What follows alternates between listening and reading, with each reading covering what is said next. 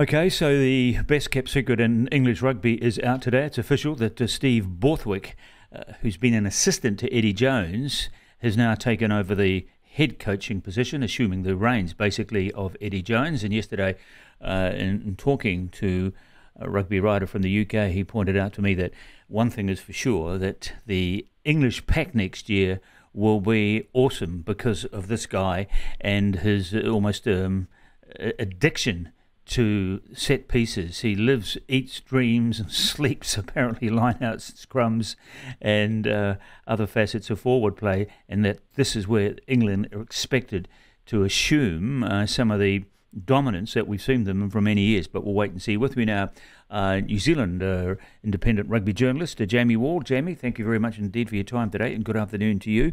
So, first of all, your thoughts on Borthwick. Do you think the New Zealand Rugby Union can sleep a little easier now, knowing that uh, Robertson's not going to England, or would they be well advised to still be cautious here because maybe someone else? Now, another country may well have its eyes set on Robertson um, if England don't want him. Oh, hello, Brendan. Um, great to be talking with you. I don't think they can ever really sleep easy on, on Scott Robertson, um, no matter what, what the situation, because um, if he is going to stay in New Zealand, that's just another headline every week that they, they have to deal with as to why he's not coaching coaching the All Blacks. Uh, and we're going to get it all through Super Rugby because I think we all know that the Crusaders are going to go through and dominate like like they usually do. Uh, and there's going to be questions about how a guy who can who has that level of success with a team that contains so many All Blacks in it uh, not getting a isn't getting a look in. So it's even though they have kind of put a full stop on the narrative uh, last year by by putting their their support behind uh, Foster through to the end of the World Cup and then leaving that door open uh, no matter what happens, which is a strange kind of situation that we have uh, the, the people are still going to going to talk about it. And yeah, you mentioned that um, there is a possibility of coaching uh, other nations um, next year. There's there's always going to be a job open for him. You know, if if he if he puts his hand up. Obviously, Wales uh, don't ha- have uh, a locked-in head coach from next year on, so that would um, be potentially where where uh, sorry sorry not Wales um, what am I talking about? Because uh, they've got they've got Gatland back, but uh, uh, the Wallabies rather uh, might be in a position where they might want to replace um, Dave Rennie, and so you know there's always going to be that threat um, there.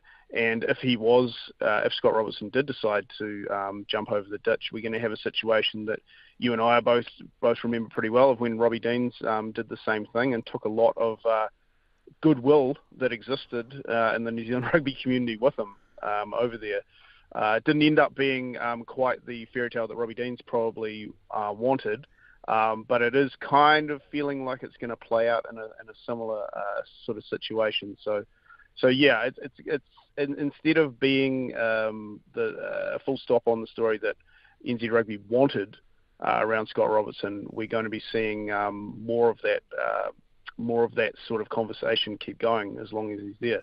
Yeah, but I suppose realistically, Jamie, there's really I would have thought only probably maybe two countries uh, that could afford, I suppose, the market value that uh, Robertson can command. I mean, as you mentioned, Wales have taken care of, England's been taken care of, South Africa I don't think would entertain just yet a foreigner coaching the Springboks. Ireland have got uh, Andy Farrell, who's doing a very good job, as we saw in New Zealand this year. So that really leaves, I would have thought, only Scotland, Australia, and Japan. Well, Japan have got Joseph and Brown, and they're doing an excellent job there, and they're getting well paid, I'm sure, the sort of money that probably uh, Robertson could command. You've mentioned Australia. Well, Eddie Jones has been talking to the um, president of the Australian Rugby Union, this fellow uh, Hamish McLennan, I think his name is, uh, over the last week about an informal kind of arrangement for him to come back to Australian rugby, and that leaves Scotland. And uh, yeah, Scotland, I suppose, would appeal because in a way there's a almost like a sparring match going on still, isn't there, between Robertson and the New Zealand Rugby Union from a distance. Uh, Robertson is saying uh, that he wants to coach an overseas side and he'd love to coach them and beat the All Blacks. So I think he's telling the New Zealand Rugby Union, don't just sit back and think I'm waiting here for my phone to ring after the Rugby World Cup at the end of next year. So uh, it's going to be a cat and mouse sort of game, isn't it, up until that Rugby World Cup next year or till its completion? Absolutely, and I mean, you know, for the public and for the media, it's great uh, because um, Scott Robertson's definitely not shy of uh, putting putting his thoughts out there. Uh, however, clouded they might be, and and and um, you know, the sort of the sort of speak he likes to he likes to put out there. But I I think that I, I'd be surprised if he ended up in a place like Scotland. Um, we one thing we have seen uh, in the last well the last few weeks, but also the last few years is just how volatile the coaching situations are in some of these some of these places. So I think that uh, you know, if the opportunity came up, or if he was to approach any any place, really, the, the you know the the possibilities are there because I don't think a couple of weeks ago any of us thought Eddie Jones was going to lose his job, um, and he and they did. They they finally sort of pulled the trigger on him after a really up and down um, tenure, which had some really decent highs, um, but some quite quite well. yeah, he had, well. a te- had a terrible year this year, didn't you? Look at the record. I think they only won about yeah, four but, or five but, Test but matches. Go, but if you go back to uh, 2017, you know that he, he guided them to uh, I think it was 18 Test wins in a row, hmm. and and then um, and then the next year they they bottomed out. They lost a series in South Africa and then came back to make the World Cup final, and beat the All Blacks in a in a semi final. So I mean the success the successes were there. Uh, so I don't think he's going to be necessarily out of a job for too long. One sort of outsider thing, you know, I, I don't necessarily think this would happen, but I think it's definitely worth mm. entertaining is um, that the U- United States are going to be hosting a World Cup um, in uh, 2027, and they're going to need a lot of help to get them to be, you know, because because they they haven't even qualified um, for next year's World Cup. Uh, and so, if they can finally actually tap into the sort of money that they've been talking about exists in within the the United States uh, sports system um, for as long as we can possibly remember, and I think that hosting this World Cup is going to actually do that for them. Um, then you know there's a gig there for an Eddie Jones or a Scott Robertson to to perhaps have a look at. Hmm, interesting. Uh, okay, let's just talk about a few other things. I suppose we're all probably sick and tired of talking about Robertson and Foster, Robertson and Foster, and, and the, the, Rugby World Cup, and somewhere in the middle of all of this is Gatland and Jones. Um, tell me about what it's been like covering the All Blacks this year on the road, in particular. Are they uh, uh, an easy team to work with from a journalistic point of view? Uh, no, they're not. Um, I don't think that'd come as any surprise, you know, especially someone like yourself, Brendan. Mm. Um, no, and this this year has been a very very interesting year with them. Um, it's the first time in a while where they've had to uh, deal with the sort of scrutiny at home um, because if you know while the All Blacks lose games, big games every now and then, and and that it's generally been offshore, and you have it. There's a whole different vibe when you're covering them overseas. Um, you're generally a little bit closer to the team, and you can get a bit of stuff that's sort of um, off the record, you know, to give a bit of context as to why they might have lost or played the way that they did.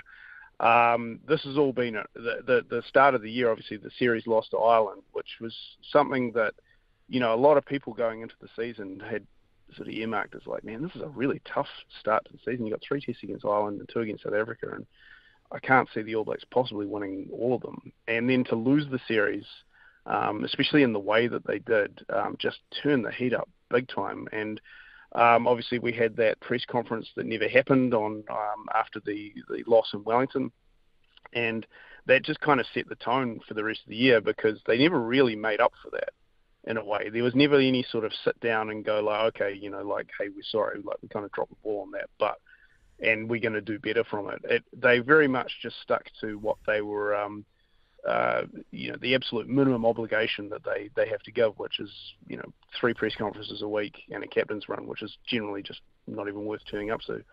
Uh, and Ian Foster himself was incredibly defensive um, for most of the year, which you could obviously expect. Uh, but even just little things like body language, you know, just not greeting the, the, the media.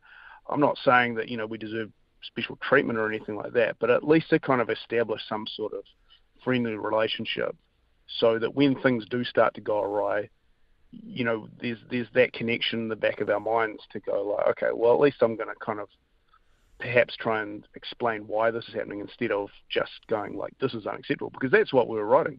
You know, when this uh, when those losses um, started happening. Do you feel um, do you, do you feel compromised at times when you are having to do a piece that's uh, inherently going to be inevitably critical of, say, Foster and the All Blacks because they just lost uh, to someone like Ireland, or uh, are you in a situation where you think, oh no, I better not put the boot.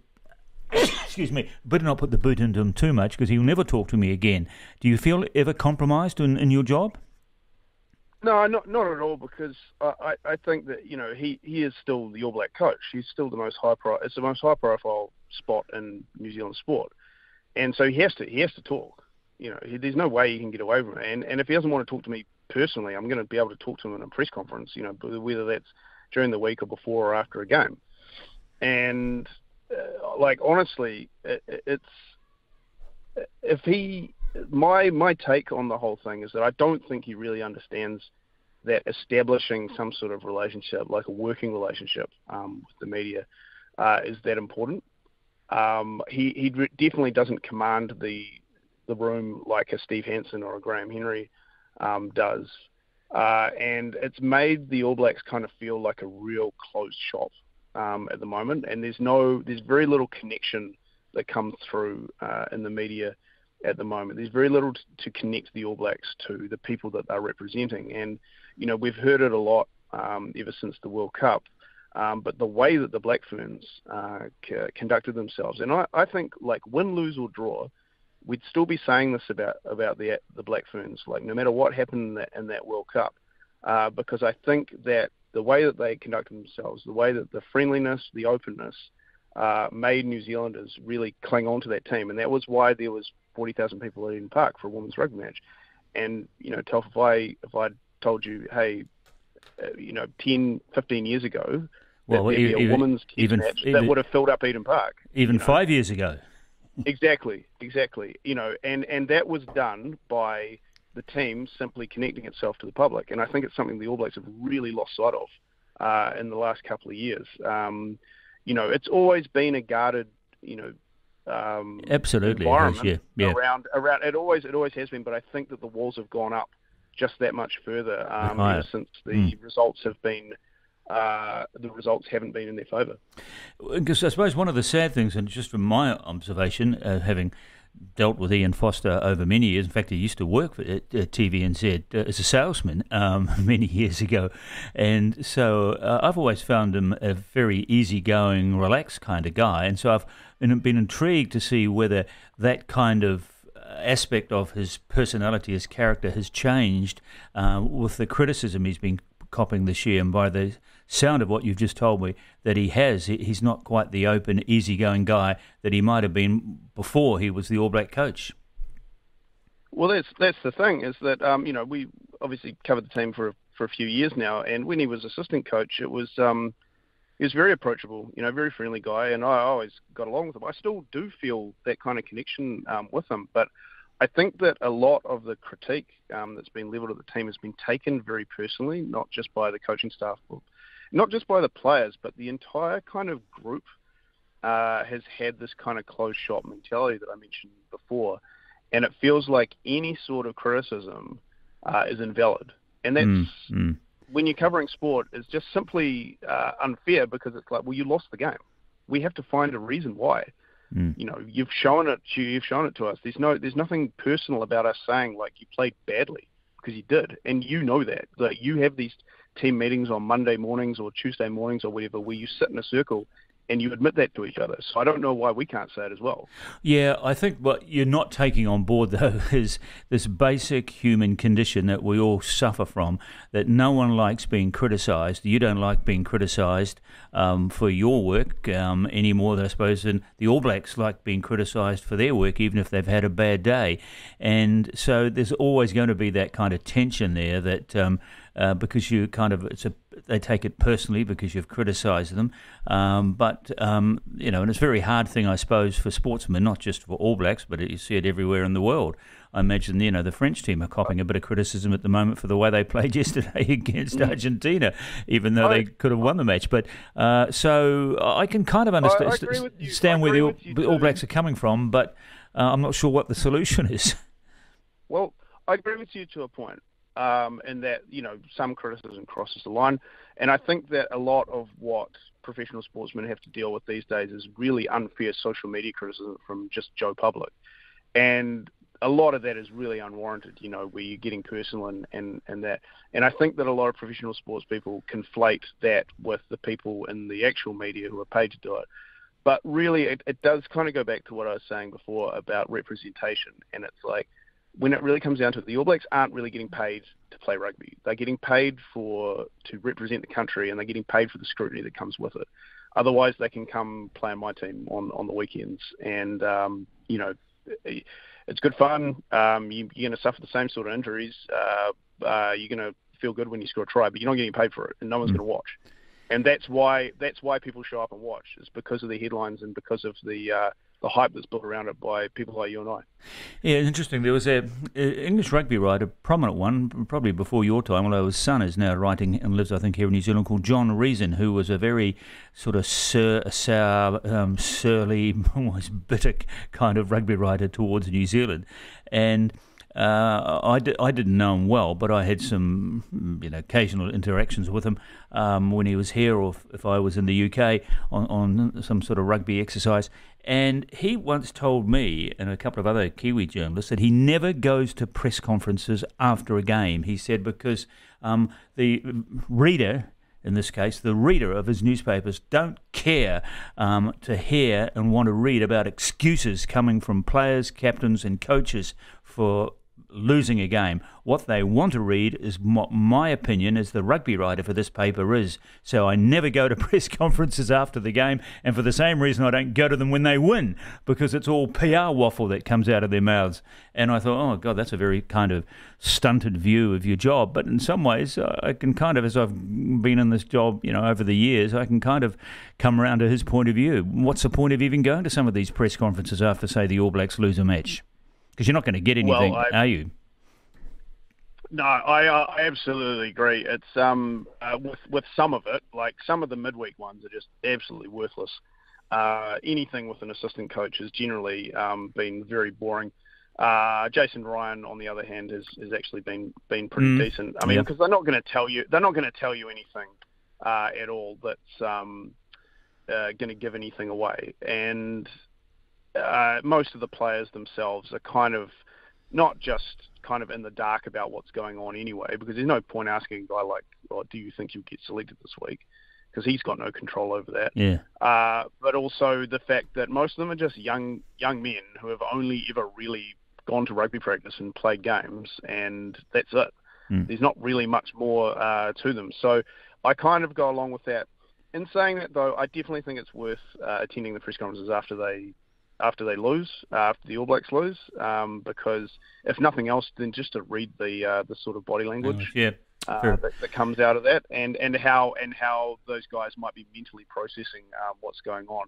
Mm. But yeah, you're you're right. Like I don't generally tend to quote guys um, post match because it's just always the same thing. Yeah, it you're is. always going to get. Um, and finally, in, in, one or two words, uh, how far will the All Blacks go at next year's Rugby World Cup?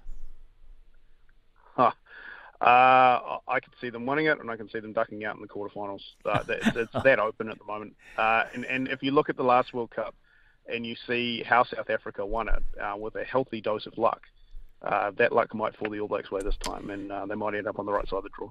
Hope you're right, Jamie. Jamie Wall, I thank you very much indeed. Rugby writer with us here this afternoon on the platform. Thank you, Jamie, and you have a nice Christmas. Cheers, Brendan. You too.